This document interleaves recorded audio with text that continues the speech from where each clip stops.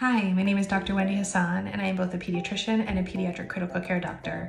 Before I head in for my shift, I wanted to take a moment to share with you why I absolutely love what I do. I love being an ICU doctor.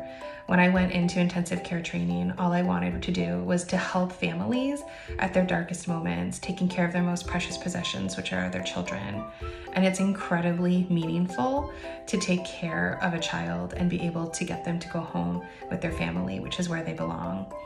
But after a couple of years working in the ICU, I started to notice the pattern that the vast majority of my patients were being admitted with preventable illnesses or preventable accidents and it really led me back to my roots as a general pediatrician. And I see myself in my role as a pediatrician as needing to advocate for societal change to ensure that kids don't end up in the ICU, whether that means through better mental health services or ending gun violence. I have an obligation to do everything I can to advocate to make the world better for my children and for other children and to keep them out of the hospital. But what I love is that as an ICU doctor, I do feel confident that should they end up in the hospital, that I have the skills to make sure that we can get them home. So what I love is I love being able to send kids home with their families, and I love my advocacy community within pediatrics.